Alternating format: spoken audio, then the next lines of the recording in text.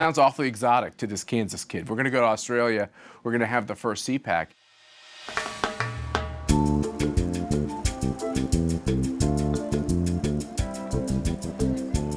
They have a combination of hope and desperation.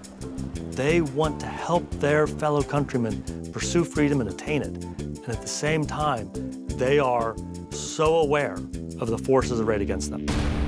It was rather shocking to see that the legislature in Australia literally wanted to ban us from, from coming and some of our speakers. The Home Affairs Minister is encouraging a cavalcade of intolerance to continue at CPAC's Talkfest of Hate. The first Australian Conservative Political Action Conference will get underway in Sydney today amid ongoing controversy. CPAC was a debate within the Australian Parliament, the very fact that we would go there.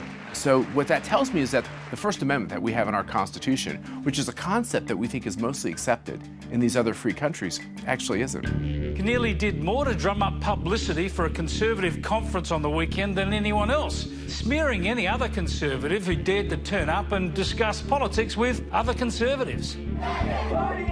We get to Australia, uh, we were not arrested, but we ran into Antifa, hundreds of Antifa protesters protesting us in Sydney, Australia.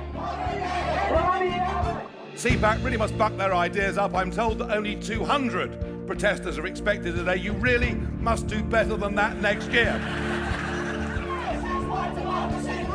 I went out to see it because I couldn't believe it. I thought Antifa was an American radicalized left-wing phenomenon. No, it's not. It's, it's gone global. What I'm really excited about what the American Conservative Union is doing is yet you're going to create relationships across borders between like-minded people. You know, we are part of an international movement. Uh, whatever our countries, we're fighting against these big globalist forces.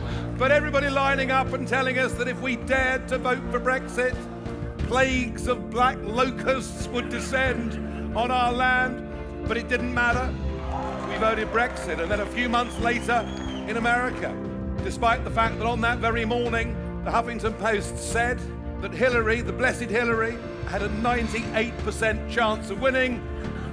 And yet what happened? The Donald swept to victory. Who'd have believed that? Some people have asked me, why is ACU getting involved in these international programs? We're the American Conservative Union, after all. We're not the International Conservative Union. The forces arrayed against us are growing faster than the alternative. You've got the George Soros billionaires and others who are funding these efforts. They don't like the idea of individual liberty. If we do not take this opportunity, freedom could be lost. The whole world is watching. What does America do in 2020? It's not an American question. It's a question they're asking in all the major communities around the globe.